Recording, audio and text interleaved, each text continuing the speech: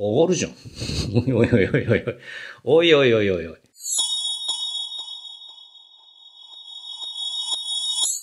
こんにちはにです。今お買い物から帰ってきました。本日6月18日、SH フィギュアーツ新ウルトラマンゾーフィーさん発売日でございます。えー僕は店頭で購入したんだけど、予約の時は確か気づいた時には売り切れみたいな、そんな感じだったね。気づいた時にはとか言ってる時点でダメというか、フィギュアーツは予約開始時間になったと同時にポチポチやらないと絶対無理だし、意識を高く持たないとね、ちょっと買えないよね。で、今日はね、朝一で、朝一でって言っても、店のオープン時間の10分前ぐらいに行って、で、まあ普通に購入できたから、数はそれなりに準備されてるんじゃないかな。あるところにはちゃんとあるみたいな、そんな感じだと思います。ただね、人はすごいいっぱいいて、やばいなと思ったんだけど、どうやらね、あの、トミカを買いに来てる人が大半だったみたいで、ビッグで買ったんだけど、レジに行ったらパッと見せられたのがトミカのリストの。リストをピュッと渡されて、どれにしますかみたいな。トミカじゃなくて、フィアーツのゾーフィーが欲しいんですけどって言ったら、あー、ウルトラマンですね、みたいな感じで、バックヤードに行って持ってきてくれたから、だからね、もうビッグカメラとしては、もうトミカシフトみたいな感じになってたんだよね。で、レジ、こう横を見てみると、どこにもみんなこのトミカのリストが置いてあって、多分ね、車種をいろいろ言われても、きっとレジの人もわかんなくなっちゃうから、あの写真付きリストで見せて、これとこれとって言って、確認して持ってくるみたいな、そういうことなんだろうね。大変だよね。もういろんな種類あるから。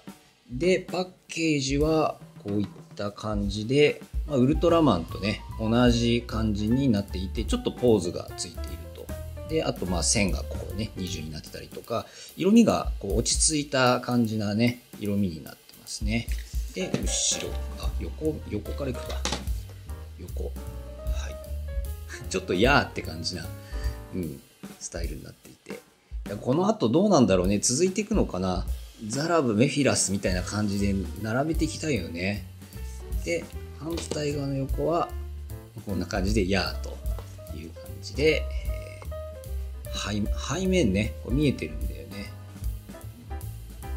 ポーズはもう直立のポーズで、で、いろいろ説明が書いてあるという感じでございます。それでは開けていきましょう。カッターで切って、ささ、どんな感じでしょう。よいしょ。ん？ここに説明書的なものが書いてあるってこと？あれ？ウルトラマンの時どうだったっけ？ウルトラマンは普通で説明書入ってるね。ゾーフィーさん説明書ないのかな？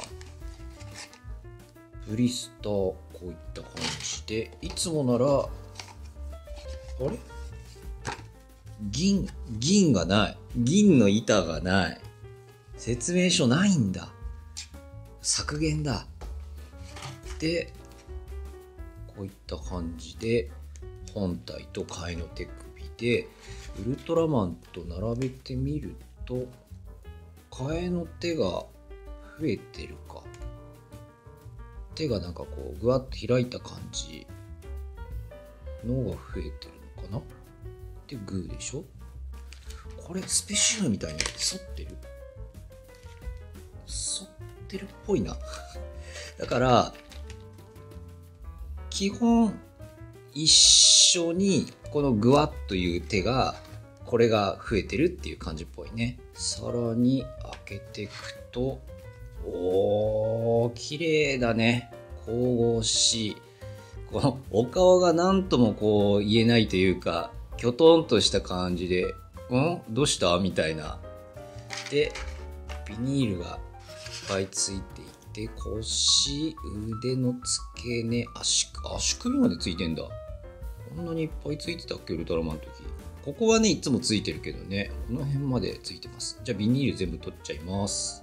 はい、ビニール取りました。一周ぐるっと見ていくと、ぐるっと、うん。まあ、ウルトラマンのリレーコ的なものでいいのかな顔だけ新しく作られて付け替えて色味をね金これ黒でいいのかね？青だよね。ちょっと濃い青みたいな青黒みたいな感じっていうそういう仕様っぽいんだけども、えー、ウルトラマン横に持ってくるとこういった感じ。まあ顔がね新しくなってて。どうなんだ？なんか胴回りがゾフィーさんの方が少し太く見えるのは気のせいかな。この辺はね、ああ、カメラの具合というか立ってる位置とかによってまた変わってきたりもするからあれなんだけど、構造は一緒っぽいよね。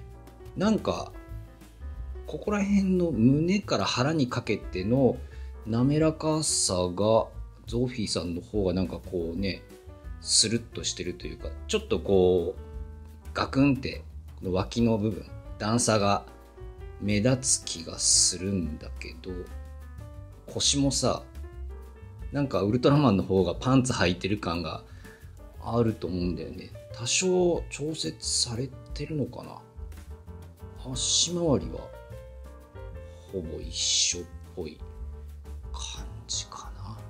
うん。だから稼働も一緒だと思うんだけど、ウルトラマンの一番のね、弱点は首が上がらないっていうね、この稼働がね、ちょっと弱点だったんだけども、ゾーフィーさんどうでしょう？上がるじゃん。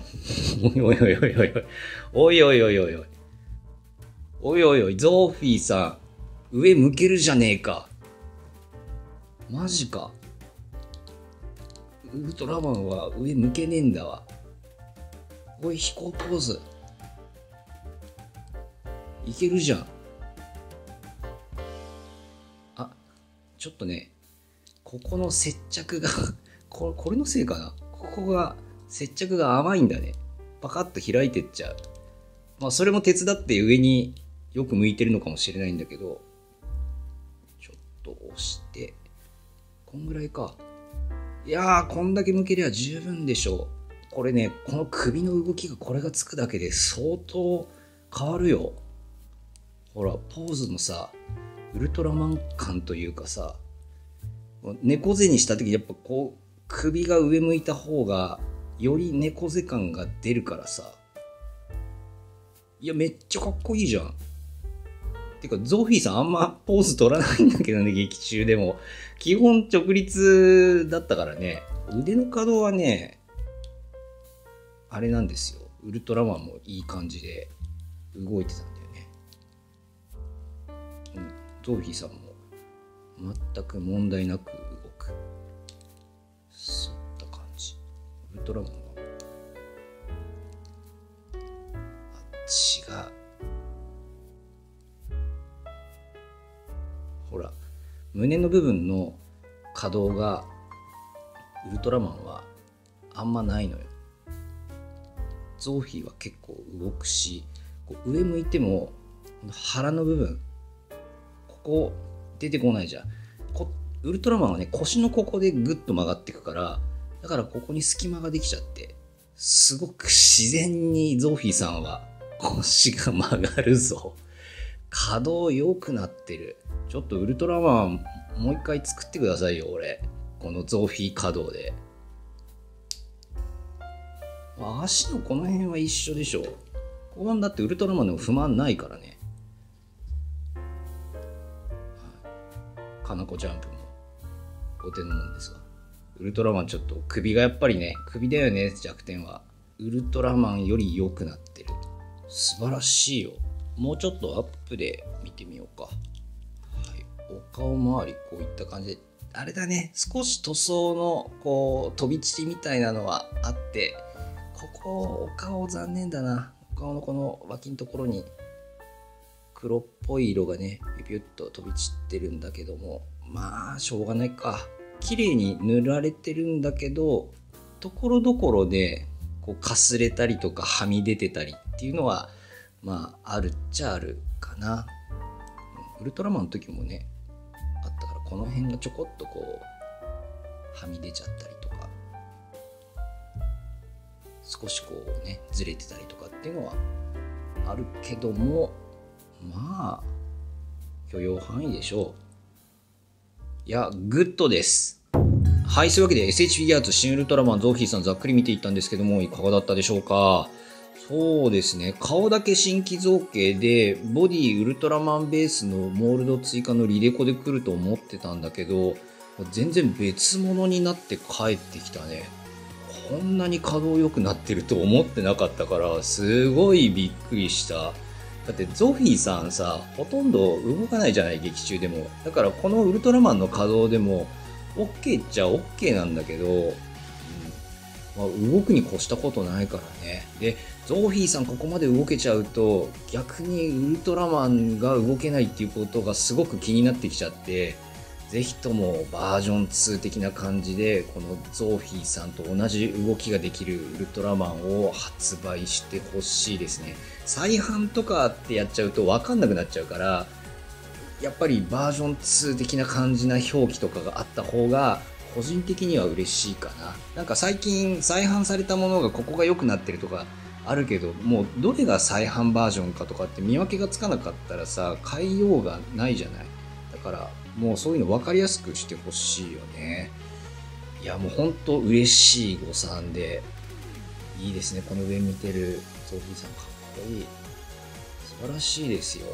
もうこれは本当すごいよくできてるので、あのね、店頭で見つけたらぜひぜひ買ってみてください。はい、今日の動画いかがだったでしょうか？もし面白いなと思いましたらチャンネル登録や高評価よろしくお願いします。それでは次の動画で、バイバイ。